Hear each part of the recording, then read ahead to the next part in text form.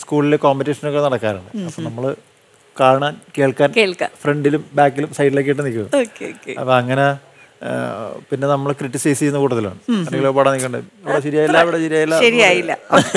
അവിടെ അത്ര പോരായിരുന്നു ഇച്ചിരൂടെ വരണമായിരുന്നു അപ്പൊ ഞാനും ക്രിട്ടിസൈസ് ചെയ്യുന്ന അതായത് നമ്മൾ പാട്ട് പാട്ടുകാരനല്ലല്ലോ. പാട്ട് പാടാനും വന്നേക്കണല്ല. പിന്നെ നമുക്ക് എന്തും പറയാം. എന്തും പറയാം. അപ്പൊ പറയാം അപ്പോൾ ഇങ്ങനെ പാടിക്കൊണ്ടിരിക്കുന്ന സമയത്ത് അവനൊന്നും പഴയ ശരിയായില്ലെന്ന് പറഞ്ഞ് പറയുന്ന സമയത്ത് എനിക്കൊരു പണി തരുന്ന പോലെ ആരോ പിടിച്ച് പുറകിൽ തള്ളിയതാണ്. സാറേ ഇവൻ പാട്ട് പാടാൻ വന്നതാണ്. അപ്പോൾ എന്ത് പ്രായമുണ്ടായിരുന്നു? ഞാൻ അപ്പൊ അഞ്ചാം ക്ലാസ് പഠിക്കുന്നു. അഞ്ചാം ക്ലാസ്സിൽ പഠിക്കുമ്പോഴാണ് ഇങ്ങനെ ഒരു അതെ. സംഭവം ഉണ്ടായിരുന്നത്. അപ്പോൾ അന്ന് പ്രത്യേകതയും കൂടെ ഉണ്ടായിരുന്നു. ഞങ്ങളുടെ ഒരു ടീച്ചർ അന്ന് റിട്ടയർമെന്റ് Function ആയിരുന്നു, അല്ലേ? ഫംഗ്ഷനാണ് അപ്പോൾ ആ ഫംഗ്ഷന് വേണ്ടി ഒരു കോമ്പറ്റീഷനും ഒക്കെ നടത്തുന്നുണ്ട്. അപ്പം അന്നൊക്കെ ഭയങ്കര ആഘോഷങ്ങളാണ്. ആനിവേഴ്സറി എന്ന് പറയുന്നത് ഭയങ്കര ആഗ്രഹം. അപ്പോൾ ആനിവേഴ്സറി നമുക്ക് ആകെ ആ ഒരു അവസരം ഉള്ളൂ നമ്മുടെ കഴിവുകൾ അപ്പൊ പ്രകടിപ്പിക്കാനായിട്ട്. അവസരം അതാണ്. അങ്ങനെ ആ, കോമ്പറ്റീഷൻ നടക്കുന്ന സമയത്ത് എന്നെ ഇങ്ങനെ തള്ളി പറഞ്ഞു വിട്ട പോലെയാണ്. സാറേ ഇവൻ പാടാൻ പറ്റില്ല അപ്പൊ ഞാൻ അപ്പൊ ഞാൻ അവരെല്ലാരും വിചാരിച്ചു ഞാൻ പാടൂലെന്ന് വിചാരിച്ചു. അങ്ങനെ ഒരു പണി തരാൻ വേണ്ടിട്ട് തള്ളി വിട്ടതാണ് അപ്പം ഞാൻ അത്യാവശ്യം പാടുമെന്ന് എനിക്കും അറിയാം. നമ്മളെ സംബന്ധിച്ച് നമ്മളിത് പ്രയോഗിക്കാറില്ല. അറിയാം. അറിയാം. അപ്പോൾ എന്റെ പരിപാടി എന്ന് വെച്ചിട്ടുണ്ടെങ്കിൽ വീട്ടിൽ ചേട്ടൻ എനിക്ക് ചേട്ടൻ ഉണ്ടായിരുന്നു എന്റെ ഏറ്റവും മൂത്ത ചേട്ടൻ ഞങ്ങൾ നാല് മക്കളാണ്. ഓക്കെ. നാല് മക്കൾ ഏറ്റവും മൂത്ത ചേട്ടനാണ്. അപ്പോൾ ചേട്ടൻ ഈ രണ്ട് രൂപ പാട്ട് പുസ്തകത്തിന്റെ ആളാണ്. മലയാള ചലച്ചിത്ര രണ്ടു രൂപയുടെ ചെറിയ പുസ്തകമല്ലേ? യേശുദാസിന്റെ പടമൊക്കെ വെച്ച്. ആ. അത് ചേട്ടൻ നമ്മൾ ബസ്സിലിരിക്കുമ്പോഴാണ് ഏറ്റവും കൂടുതൽ ഈ ബുക്സ് അല്ലെ? നമുക്ക് ആ സമയത്ത് നമ്മൾ പാട്ട് ചലച്ചിത്ര ചേട്ടൻ ഇതെല്ലാം വാങ്ങിച്ചു കൂട്ടുമായിരുന്നു ഒത്തിരി വാങ്ങിച്ചു കൂട്ടിയിരുന്നു അപ്പോൾ ചേട്ടൻ ഇതെല്ലാം വാങ്ങിച്ചു കൂട്ടുകയും പിന്നെ പുള്ളിക്കാരൻ വെച്ചാൽ ഒരു ഡയറിയിൽ എഴുതി വെക്കും. പാട്ടുകൾ പാട്ടുകൾ ഡയറിയിൽ എഴുതി വെക്കും. ഹാൻഡ് റൈറ്റിംഗ് ഒക്കെ വളരെ ഉഗ്രനാണ്. എന്റെ എന്നെ അദ്ദേഹം പാടുമായിരുന്നോ? അദ്ദേഹം നല്ല ഉഗ്രനായിട്ട് പാടുമായിരുന്നു. പേരെന്നാ അദ്ദേഹത്തിന്റെ അദ്ദേഹത്തിന്റെ പേര് പീറ്റർ എന്നാണ്. പീറ്റർ. പീറ്റർ. ഓക്കെ. അദ്ദേഹം മരിച്ചുപോയി. അപ്പം ഞാൻ വൈകുന്നേരങ്ങളിൽ എന്റെ പരിപാടി എന്ന് വെച്ചിട്ടുണ്ടെങ്കിൽ കളിയൊക്കെ കഴിഞ്ഞ് ഞങ്ങളുടെ അവിടെ വലിയ പാടമാണ്. അപ്പോൾ എല്ലാം എല്ലാം നികന്നു പോയി. ആ ചെറുത് ചെറുതിലെന്ന് വെച്ചാൽ എന്റെ വീടിന്റെ ബാക്കിലൊക്കെ വലിയ പാടമാണ്. വയലും കാര്യങ്ങളൊക്കെ ആയിരുന്നു.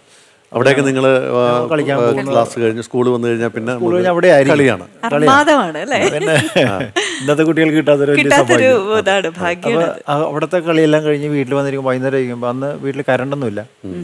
വിളക്കാണ്. അപ്പോൾ വിളക്ക് ഇങ്ങനെ കത്തിച്ച് വെച്ചിട്ട് അതിന്റെ ഫ്രണ്ടിൽ ഈ ബുക്കൊക്കെ നിരത്തി വെച്ചിട്ട് സംഭവം ഇരുന്നൊരു പാടുന്നൊരു പാട്ടുണ്ട്. അപ്പോൾ അതിനകത്ത് കുറേ പാട്ടുകളുണ്ടാവും. അപ്പോൾ ഒരു ബുക്ക് കഴിയുമ്പോൾ അടുത്ത ബുക്ക് അടുത്ത ബുക്ക് കിട്ടുന്ന പാട്ടെല്ലാം എടുത്ത് പാടും. അങ്ങനെ ഒരു രസം അല്ലാതെ അത് ഞാൻ പാട്ടുകാരനാണെന്നോ പാട്ട് പാടണോ അങ്ങനെയുള്ള പാടുന്നു അങ്ങനെ തന്നെ. ബുക്കൊക്കെ ഉണ്ട്. അപ്പോൾ ഇഷ്ടമുള്ള പാട്ടൊക്കെ എടുത്ത് പാടും. അങ്ങനത്തെ ഒരു പരിപാടി ഉണ്ടായിരുന്നു. അപ്പൊ ഞാൻ അങ്ങനെ പഠിച്ച ഒരു പാട്ടാണ് നായക ജീവദായക. അപ്പൊ ഈ സ്കൂളിൽ എന്നെ ഈ കോമ്പറ്റീഷൻ പിടിച്ച് തള്ളിയിട്ട് കഴിഞ്ഞപ്പോൾ ഞാൻ അപ്പോൾ എന്റെ ഈ എക്സ്പീരിയൻസ് ഒക്കെ വെച്ച് എന്റെ വീട്ടിൽ നിന്നുള്ള പാട്ടെന്ന എക്സ്പീരിയൻസും ഈ പാട്ട് കേട്ട എക്സ്പീരിയൻസ് ഒക്കെ വെച്ച് അപ്പൊ അറിയാവുന്ന ഒരു പാട്ട് ബൈഹാട്ട് അറിയാവുന്ന പാട്ടുകൾ വളരെ കുറവാണെന്ന് ഇപ്പോഴും വളരെ കുറവാണ്. അപ്പോൾ ഞാൻ ഈ പാട്ട് നായക എന്നുള്ള പാട്ട് പാടി. നായക ജീവദായക യേശുവേയൻ സ്നേഹഗായക. ഈ പാട്ട് ഞാൻ പാടിയെന്ന്. ഫുള്ള് പാടി കാണാതെ പാടി എന്ന് എനിക്ക് തോന്നുന്നു ഫുള്ള് പാടി എന്ന് എനിക്ക് തോന്നുന്നു അതെ. അപ്പൊ ഞാൻ പാടി ഞാൻ പോന്നു. അപ്പൊ ഞാൻ പാടി പോകുന്നതിന് ശേഷം എന്നെ തള്ളിയിട്ടവന്മാർ അന്വേഷിച്ചിരുന്നു അവരെ കാണുന്നില്ല. അങ്ങനെയാണ് അതാണ് ആ ഒരു അബദ്ധത്തിൽ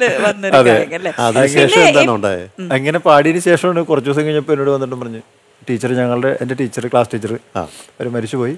അപ്പോൾ അവർ വന്ന് എന്നോട് പറഞ്ഞ് ജോസഫ് ലളിതാനത്തിന് ഫസ്റ്റ് പ്രൈസ് ഉണ്ട്. അപ്പോൾ ഞാനിങ്ങനെ ഫസ്റ്റ് പ്രൈസ് എന്നൊക്കെ പറഞ്ഞപ്പോൾ ആണാ? ഫസ്റ്റ് പ്രൈസ് ഉണ്ട്? ആദ്യം ഒരു തരിപ്പായിരുന്നു. അതെ അതെ. സത്യം പറഞ്ഞാൽ സത്യം പറഞ്ഞാൽ എനിക്ക് അന്ന് ഫസ്റ്റ് പ്രൈസിനെ കുറിച്ചൊന്നും എനിക്ക് വലിയ ധാരണയില്ല, അവർ ആ ഒരു ടെൻഷനും ഇല്ല. ഇപ്പൊ നമ്മൾ ഫസ്റ്റ് പ്രൈസ് കിട്ടിയെന്ന് കിട്ടുന്ന സന്തോഷം നമ്മളൊരു പാട്ട് പാടി അവസാനിച്ചു. ഫസ്റ്റ് ആണെന്ന് പറഞ്ഞു. ആയിക്കോട്ടെ. അത്രേ ഉള്ളൂ. അപ്പൊ ഞാൻ അത് അതോടെ കഴിഞ്ഞെന്ന് വിചാരിച്ചു. അപ്പൊ കുറച്ച് ദിവസം കഴിഞ്ഞപ്പോൾ എന്നോട് പറഞ്ഞു ആനിവേഴ്സറിക്ക് പ്രോഗ്രാം ചെയ്യുന്നുണ്ട്. പ്രോഗ്രാം ഉണ്ട്. അപ്പോൾ എല്ലാവരുടെയും പ്രോഗ്രാം അപ്പം ജോസഫ് ഒരു പാട്ട് പാടണം. ഒരു നല്ലൊരു പാട്ട് പഠിച്ചിട്ട് വന്നിട്ട് ടീച്ചേഴ്സിന്റെ അടുത്ത് പാടി കേൾപ്പിക്കണം. എന്നിട്ട് പാടണം. അപ്പോൾ ഞാൻ വീട്ടിൽ ചെന്ന് അമ്മച്ചിനോട് പറഞ്ഞു അമ്മച്ചി ഇങ്ങനെ എനിക്ക് ലളിതാംഗനത്തിന് ഫസ്റ്റ് പ്രൈസ് കിട്ടി. ഞാൻ ഈ പാട്ടാണ് പാടിയത്. അപ്പോൾ ടീച്ചർ പറഞ്ഞൊരു നല്ല പാട്ട് പഠിച്ചിട്ടും വന്ന് ആനിവേഴ്സറിക്ക് അന്ന് ഞാൻ കോമ്പറ്റീഷന്റെ സ്റ്റേജിലൊന്നുമല്ല. ഞങ്ങളുടെ പള്ളിയുടെ സൈഡിൽ പള്ളിയുടെ ഫ്രണ്ടിലൊരു വട്ടക്കലുണ്ട്. അവിടെയാണ്.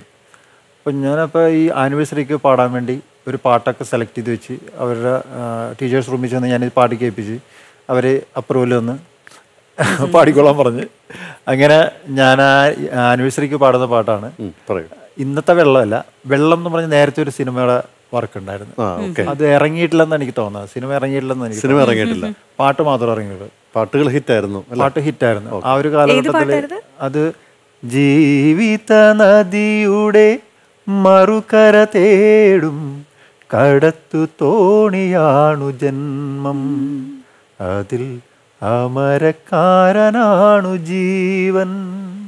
ഈ പാട്ട് മിക്കവാറും സിലോണിൽ വൈകുന്നേരങ്ങളിൽ ഫുൾ ടൈം ഉണ്ടാവുമായിരുന്നു. വളരെ സുന്ദരമായ ഗാനമാണ്.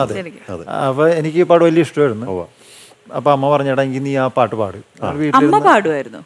അമ്മച്ചി നന്നായിട്ട് പാടും. അമ്മച്ചിക്ക് അല്ല. അമ്മച്ചിയാണ് ഈ പാട്ട് സെലക്ട് ചെയ്ത് തന്നെ അതെ അമ്മച്ചിയാണ് സെലക്ട് ചെയ്തത് ഓക്കെ. അപ്പൊ എന്റെ ഒരു കാലഘട്ടം വരെയുള്ള ടീച്ചർ മ്യൂസിക് അമ്മച്ചി തന്നെയായിരുന്നു.